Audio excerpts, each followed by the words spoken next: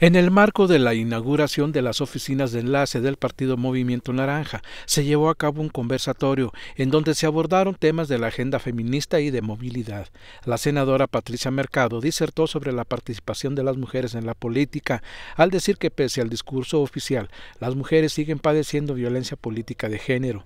Quien fuera candidata a la presidencia de la República afirmó también que las mujeres no tienen las mismas oportunidades que los hombres para acceder a un cargo público. Somos de los tres países más desiguales.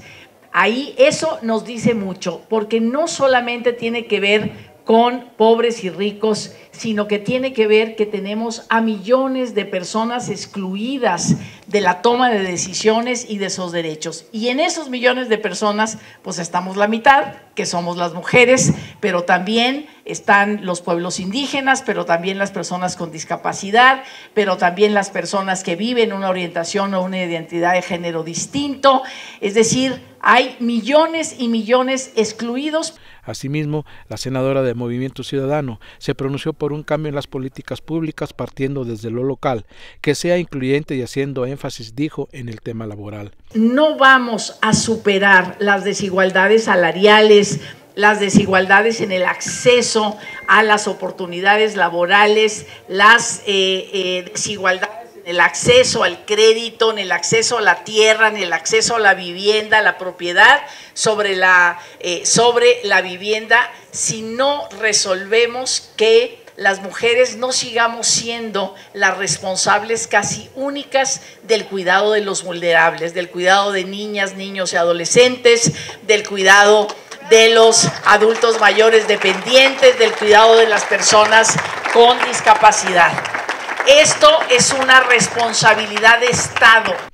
En este conversatorio participó también la senadora por este partido Laura Ballesteros, quien abordó el tema de la movilidad al decir que el 80% de los mexicanos viven en poblaciones urbanas.